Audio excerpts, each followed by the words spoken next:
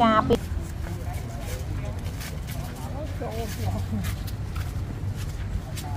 ឪណាចាឥឡូវអញ្ជើញពិសាឪ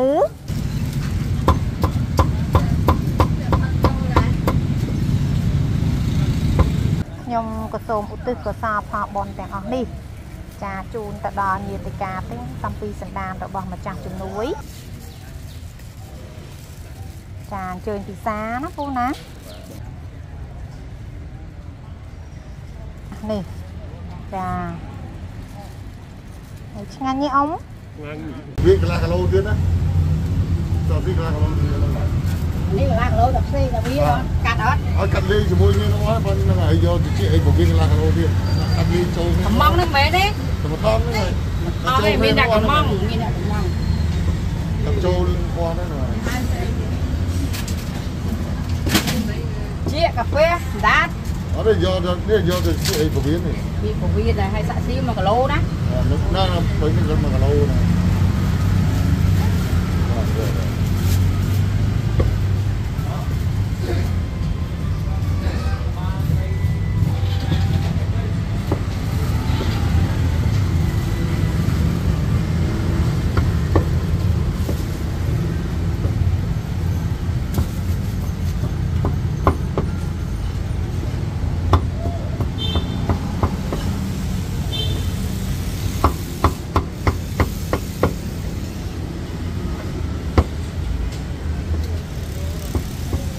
អាសា ច់លាយចឹង1គីឡូប៉ុន្មានអី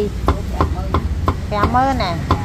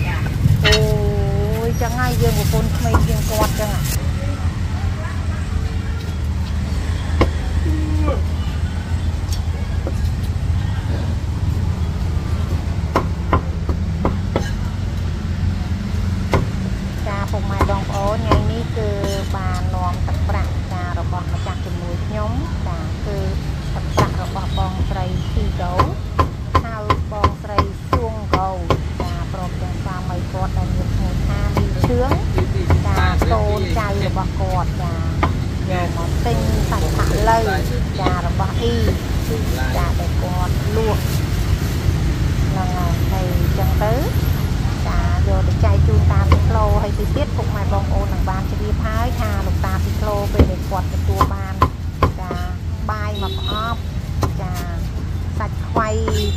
ចាម្នាក់មួយចានអារម្មណ៍គាត់សប្បាយចិត្តប៉ុណ្ណាចាជាពិសេសនោះចាអឺគាត់ឆ្អែតហើយគាត់ទទួលបានប្រាក់បន្ថែមទៀតហ្នឹងហើយហើយបានឃើញនៅការសម្រស់របស់លោកតាលោកតាចាគាត់ជាអឺគាត់ត្រេកអរចានៅពេលដែលគាត់ចាទទួលបាន ញ៉ាំឆ្អែតមកពេលចាបានប្រាក់សម្រាប់ចាយវាយហើយថ្ងៃនេះដែរចាបងស្រីគាត់ផ្ដាំថា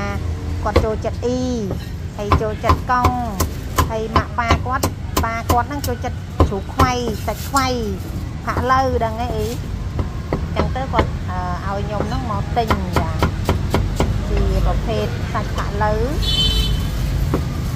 ហ្នឹងហើយយកទៅជូនដល់លោកតាស៊ីក្លូហើយបនទៀនទាំងអស់នេះគឺគាត់ចង់ឧទ្ទិសកុសលផលបនជូនទៅដល់លោកឪពុករបស់គាត់និងអ្នកម្ដាយរបស់គាត់ដែលបាក់បែកចែកឋានទៅចាសូមឲ្យលោកឪពុកអ្នកម្ដាយរបស់គាត់ចាបានលឺថាកូនស្រី ចានិងកូនប្រុសចាជាទីស្រឡាញ់បានធ្វើជូនហើយក៏មកទទួលអនុមោទនាយកបុណ្យកុសលដែលកូនបានធ្វើចាតាមរយៈយើងខ្ញុំនៅក្នុងថ្ងៃនេះផងដែរ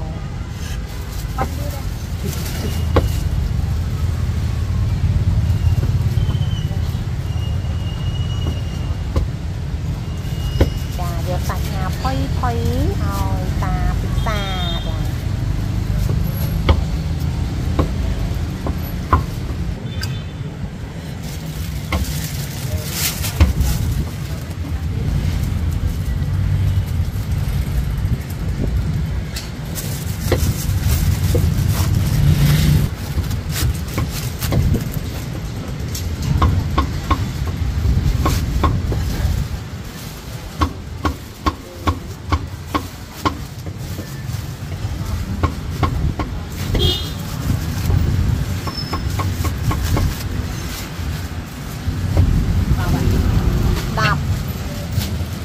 10នៅ20ទៀតនៅអានេះមួយទៀតនៅ19ទៀត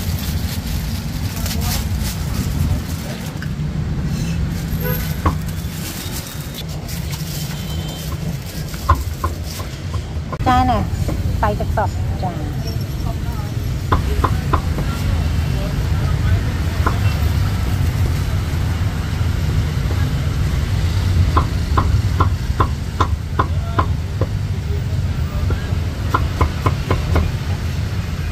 ាអីកាត់ លុយអស់ប៉ុន្មានអីគ្រប់ទាំងអស់18ម៉ឺនណាអី18ម៉ឺនអរគុណច្រើនអីហេងហេងអីតំទិញកូនលើមុនចឹងហ៎ឥឡូវឲ្យ30ប្រអប់មកតាមមកដល់ចាមានទេបើអត់មានចែកគ្នាម្នាក់5 10មកមានតាមានណាអើបើមានដាក់គ្រប់30មកចឹង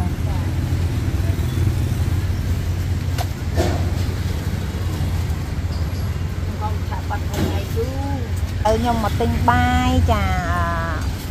30ប្រអប់ទៀតទិញបាយទិញទឹកហើយហើយចាតិចទៀតនឹងយកបានទៅជូនលោកតាពីគីឡូហើយចា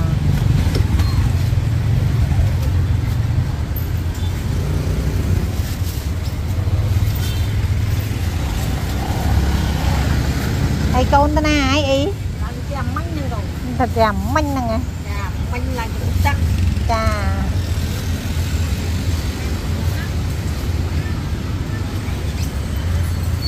អូយដូចនៅច្រើនម្លេះអីម៉ោង2 3ហើយឈប់មកអូនឯងមើលមើលត្រីចាំបានបានតពុតនេះនេះអូយងាត់ហ្មងសាមញ្ញក៏ចឹងដែរបងអូនអើយចាអត់អត់ទេស្កាច់ប្រហែលថ្ងៃនេះស្ងាត់ណាស់ចូលទៅដើមមកទៅលុយទិញវិញបានហូអឺសាមញ្ញស្លនៅពេញពេញដែរហើយ ហ្នឹងហើយពីតោកមួយគ្នាដែរចាតោកមួយគ្នាអត់ទេផ្សេងវាបងអូនខាងនោះខ្ញុំខាងនេះចឹងហ៎ចាចាអាត្រូវហើយ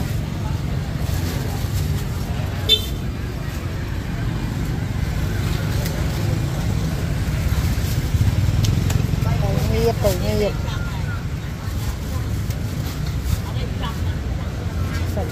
ច់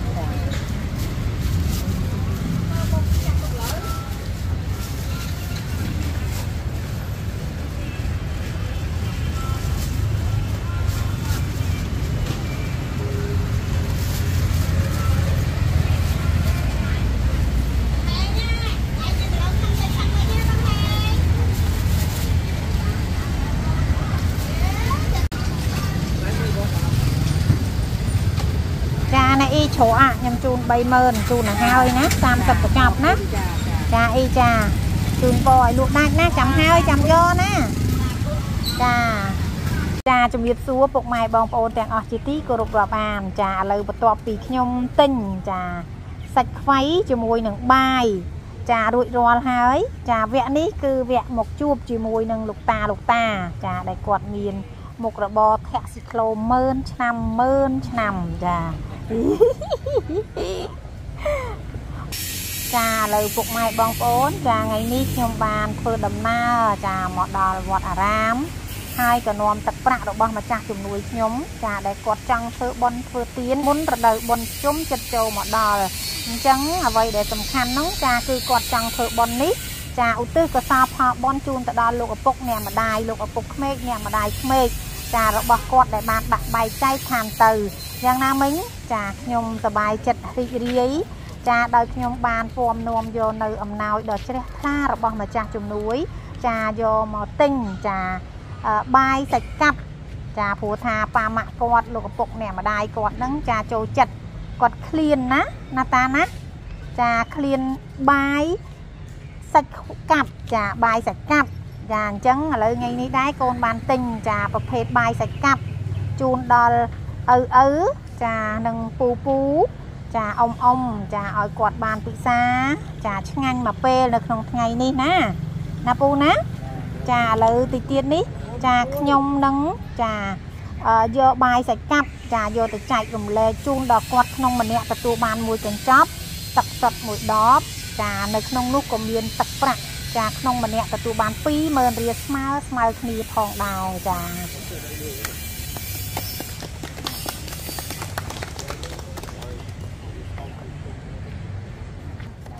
ចាឥឡូវនេះខ្ញុំក៏មានចា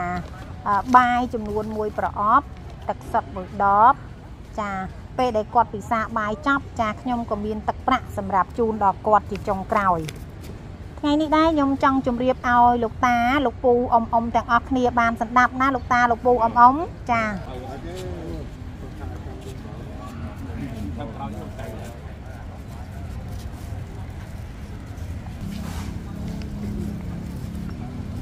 ចាថ្ងៃនេះខ្ញុំទទួលបានការឧបត្ថម្ភចាពីបងស្រី Tigo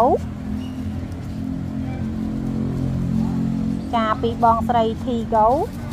ចាហៅ បងស្រីសួងកោចាគាត់បានឧបត្ថម្ភទឹកប្រាក់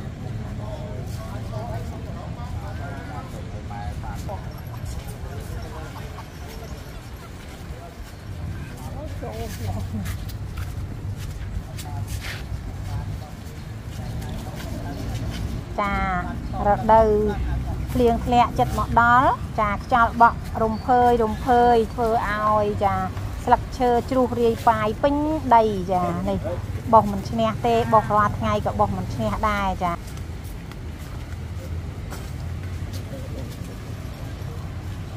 ចាឥឡូវម៉ាក់បានយកចាបាយម្ហូបទឹកសុទ្ធចាយកទៅចែកជូនចាអឺចាលោកពូលោកពូលោកតាលោកតាចាជាអ្នកធាក់ស៊ីក្លូអស់ហើយនៅពូនៅ ចាឲ្យគាត់បានពិសាចាឲ្យបានឆ្ងាញ់មកពេលនៅក្នុងថ្ងៃនេះចា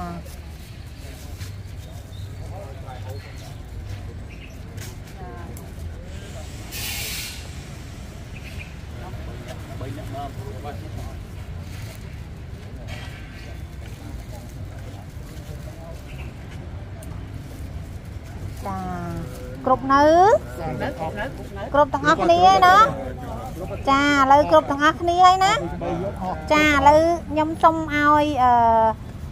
អឺឪឪក៏ដូចជាពូពូចាអ៊ំអ៊ំទាំងអស់គ្នាសន្តាប់ណា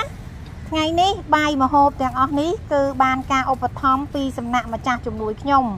ចាដែលគាត់ជាសប្បុរសជនខ្មែររស់នៅទីក្រុង Bear Flower រដ្ឋកាលីហ្វ័រញ៉ាសហរដ្ឋអាមេរិកចាគាត់បានឧបត្ថម្ភទឹកប្រាក់ឲ្យខ្ញុំចំនួន370ដុល្លារ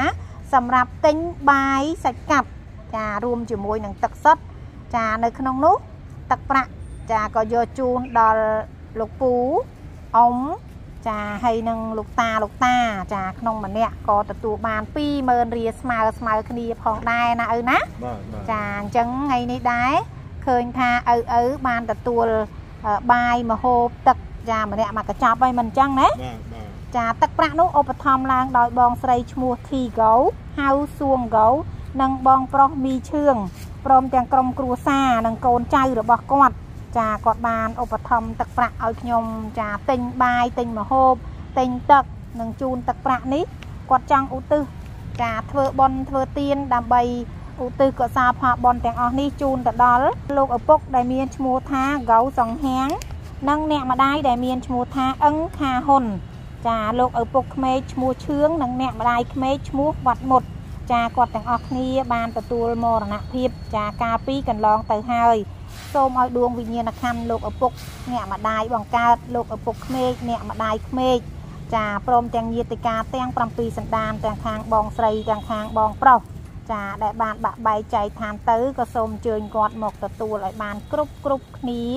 ចារាល់មគ្គផលកុសលនៃបុណ្យដែលម្ចាស់ជំនួយខ្ញុំបានធ្វើបានសាងតាមរយៈយើងខ្ញុំនៅក្នុងថ្ងៃនេះឥឡូវដើម្បីឲ្យបានដល់ជីដូនជីតាកងម៉ាតាយាយគាត់ក៏សូមអញ្ជើញឲ្យលោកតាលោកពូចាពិសាបាយចាចង់ដឹងថារសជាតិហ្នឹងឆ្ងាញ់យ៉ាងណាឪបាទអញ្ចឹងក៏សូមអញ្ជើញលើកកញ្ចប់បាយណាឪណាបាទយកមកបើកបន្ទាប់មកពិសា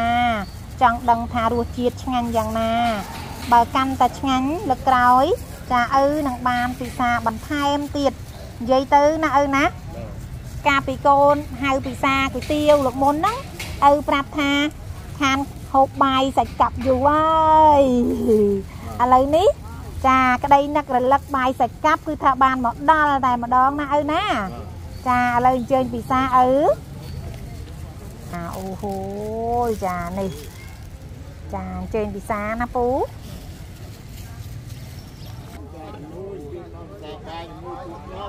ចាអញ្ជើញអ៊ំអញ្ជើញពូអញ្ជើញពិសាចាឥឡូវគាត់ចាប់ផ្ដើម ចាយកបាយយកមកពិសាហើយចាហើយទន្ទឹមនឹងគាត់ចាកំពុងតែពិសាបាយចាឆ្លៀតពេលដែលគាត់កំពុងតែចាឆ្ងាញ់ចាខ្ញុំក៏សូមឧទ្ទិសកុសលផលបុណ្យទាំងអស់នេះចាជូនទៅដល់ញាតិកាទាំងតាំងពីសន្តានរបស់ម្ចាស់ជំនួយ ចាដែលបានបាក់បែកចែកឋានទៅ ចាមិនថាគាត់រស់នៅទីកន្លែងណា ចាក៏សូមឲ្យចាញាតិកាទាំង7សន្តានរបស់ម្ចាស់ជំនួយចាអញ្ជើញពិសាណាពូណាចាអូឆ្ងាញ់ណាស់ ណាយកឲ្យយក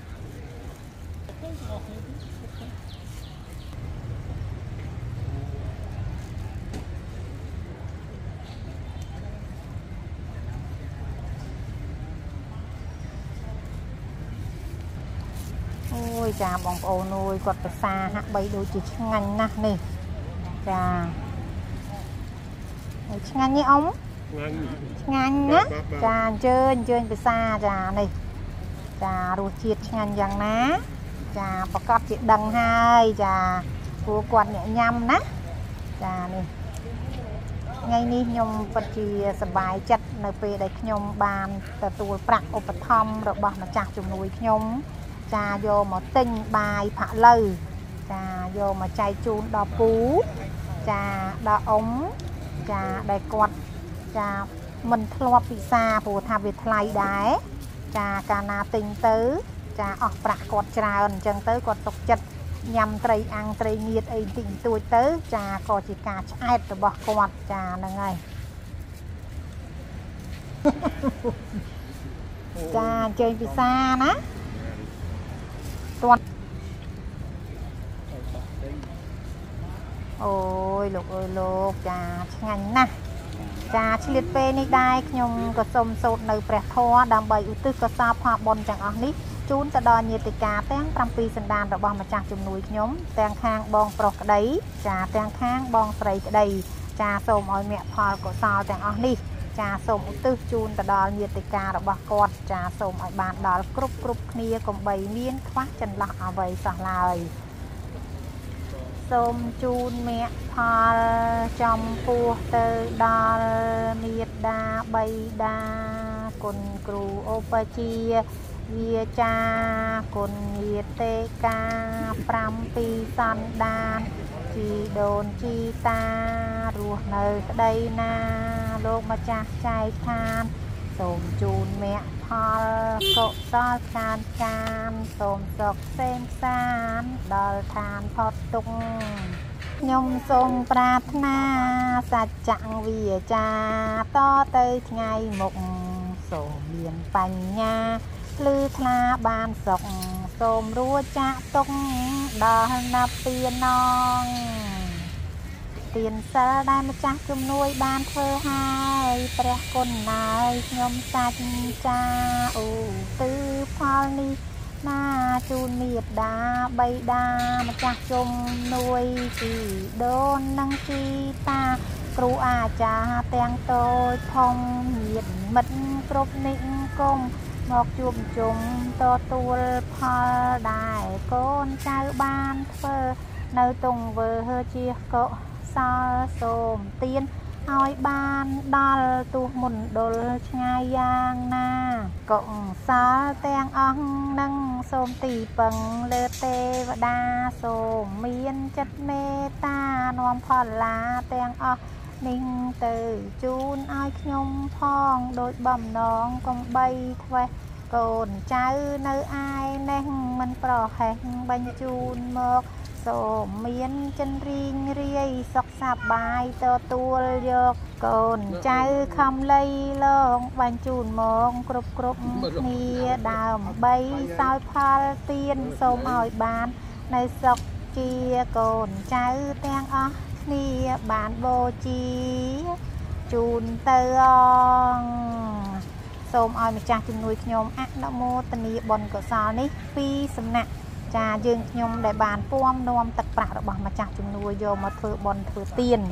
ចាសូមអនុមោទនាបុណ្យចាមគ្គផលចាកុសលរៀងរៀងខ្លួន សាធុសាធុសាធុចាពេលដែលគាត់ចាពិសាហើយអីហើយវគ្គបន្តចាខ្ញុំក៏មានទឹកប្រាក់ ចាសម្រាប់ជូនដល់គាត់ផងដែរចាចាអស់លីងហ្មងណាឪណាអូហយអស់លីងចាឆ្អែតនៅឆ្អែតដែរចាពិសាចាស់ណា ចាលើអ៊ំផ្សាបាយចារួចរាល់ហើយអ៊ំឆ្អែតដែរណោះអូយអស់លីងហ្មងចាហ្នឹងហើយឆ្ងាញ់ទេពូឆ្ងាញ់អស់លីងចា អូយអស់លីងហ្មងណា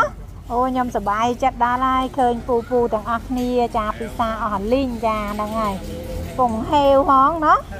ចាហ្នឹងហើយអូយអស់លីងណាពងហេវចាចាត្រូវហើយ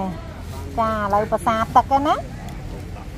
ចាវគ្គបន្តចាខ្ញុំក៏មានទឹកប្រាក់ ចាជូនទៅដល់លោកពូលោកពូក្នុងម្នាក់ចាទទួលបាន20000រៀលស្មើស្មើគ្នាផងដែរចាឥឡូវនេះគាត់រៀបរៀបចំហើយហើយចាអូយឆ្ងាញ់ណាស់ឪនេះឆ្ងាញ់ណាស់ឪ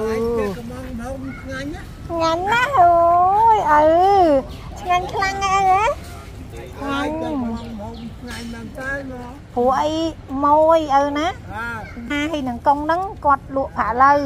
ហើយម្ចាស់ជំនួយខ្ញុំគាត់ឃើញគាត់ថាដូចអាម៉ាដូចកងគាត់អញ្ចឹងណាគាត់អាណិតគាត់ថាឲ្យជួយទិញកងម៉ាហ្នឹងទៅអញ្ចឹងណាហើយកូនក៏ទិញតាមតំណពរបស់ម្ចាស់ជំនួយណាចាឪចាអូយឪឪអូយឪបិចតិចតិចឪបិចតិចតិចហ្មងឪណោះអើយបងប្អូនអើយអាយុ8អាយុ9ហើយនេះមកជួរនេះសិតតែ8 9ទាំងអស់ចាចាពុកគេពុកយើងធ្វើបន់តាន់ខែភ្លឺចា ធ្វើបន់តាន់បំពង់កឈរធ្វើបន់តាន់អ្នកសក់អ្នកក្រឃ្លៀនចាហើយឲ្យសក់នោះគឺមានជំងឺតម្ងនោមចា